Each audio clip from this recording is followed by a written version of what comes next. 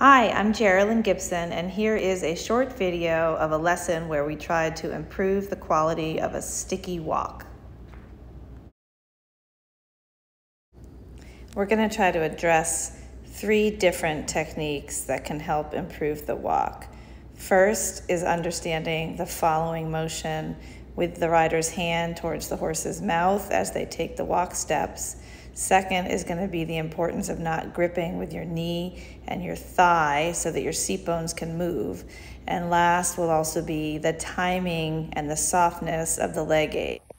Here we have right. Eliza so, and her lovely gelding donkey who sometimes starts off a bit sticky in the walk. Lose the whip for the moment.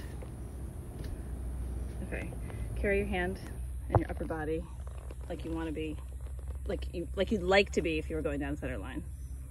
Look over his ears. Good. All right, so now press your knuckles, both of them, into my arm, just a little, not enough to move my arm. okay, good. All right, now keep your upper body where it is. Okay, keep it where it is, but follow my hand. Don't lose the contact. Forward. Okay, now back.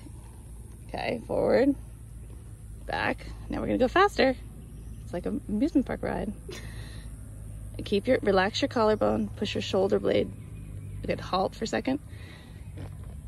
Down. Yeah, there you go. Okay, follow, back, follow, back, follow, back. All right, and you're keeping your upper body like right where it should be, okay? Now, just like my hand was in front of you. Even shorter reins and your hands more forward. This is Donkey's sticky walk. Good. Now contemplate whether or not he thinks you're sitting in a very friendly way. Are you tight or are you loose? Good. Only ask for more walk when his inside hind leg is coming off the ground.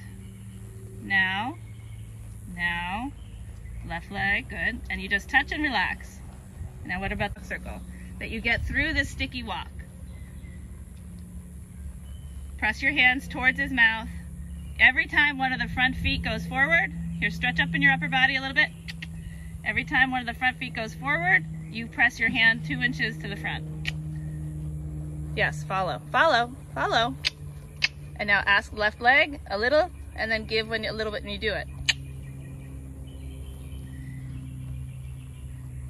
Take both knees and thighs and lift them off the saddle and follow with your hand. Keep them up. Good. Arms following. You shouldn't block. You follow his mouth. Rein shorter. Good. Shift your weight so that you're a little bit sitting behind your seat bones. Just a little. And your arms stay in front. Good. Show me what happens if you turn both of your toes out and touch your spur on his side and then let it go. And then let it go. Opening the toe outward opens the knee and opens the hip and gives the rider a more swinging seat and the chance to very carefully place the leg aid against the horse's side. Deliberately and then release. Following, don't lock up your shoulders. Good. Touch him really soft with both spurs and then relax them and see what happens. Oh, he's a good boy. Thank you. Now you're starting to, that's your walk. That's a good walk. Good. Rein shorter. Arms following. If your arm follows really elastically, he won't care that you shorten the reins. And you just keep your fingers at his mouth. Good. Take both legs off the saddle so you're just sitting on your seat bones. Good. And now turn your knees and toes out a little bit and just touch them with the spur. Just a little indication. Yes. That's all it is. Just a very clear, simple aid. Good. Good. Range short, arms long. Take your left hand a little to the left and open your knee and thigh again and a little spur. Just a touch, just laying it against him without, just so it's a very clear, quiet indicator. Good. Good. Good. Now, let him take the reins down into an extended walk, free walk. But you stay at his mouth. Your arm still has to really follow forward with each front leg. It's okay. Ah, super. Super. And now keep those thighs like that so you're not gripping and you're just rolling along on your seat bones. Shorten the rein up. Shorten the rein up. Arms are super soft. When you shorten up, you're still gonna follow a big walk. Yep. And then your th roll your thumb up and your pinky down. Follow the walk.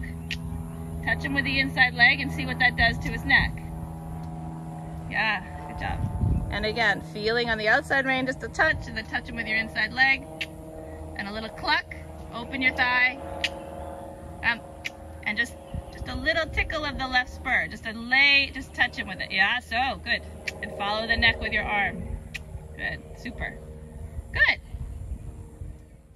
If you are clever about always opening your knee and thigh a little bit before you even touch the horse with your leg, you will actually teach your horse to go forward when he feels the opening of the thigh, and you don't even have to use your lower leg. Good. Now go rising trot and work around the ring a little bit. Do whatever you want. Okay? Teach him this every day. So here we have a video of the moments when the rider's hand is a little bit locked, and you can see up close how the distance between the rider's hand and, for example, the white saddle pad changes very little as the horse takes each step. And that's one of the things we want to try to fix. We need to have a little more motion following the oscillation of the horse's neck in the walk. Here we have the rider doing a better job pushing the hand forward with each step of the front leg of the horse, allowing him to walk more easily. And here you can see how it affects the quality of the walk with ground cover and swing through the back.